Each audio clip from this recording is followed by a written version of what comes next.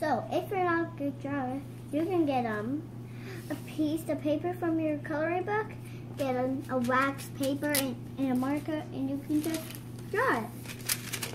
You can trace it. Yeah. Right? So let's put a little bit of tape so it doesn't move on you. Don't have to color it. A little bit. And Trace it. Do a black line. and let's see. Mm-hmm. Okay, I'm gonna start with the cone. Hold your pen. There you go. No, uh, So there you go, Gia. Thanks. I did ice cream cone Yeah. with this So that's what it looks. Sharpie. Yeah, it looks good.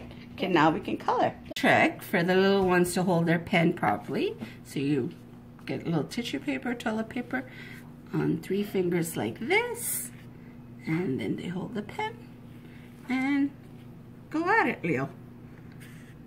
There, good chasing. So Gia decided to, what did you decide to do? I decided to um paint it. paint it. Right? There you go. It's beautiful. Good job. And here's Leo.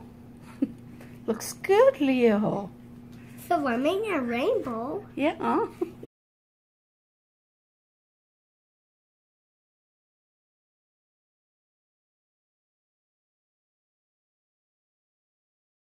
Finished project.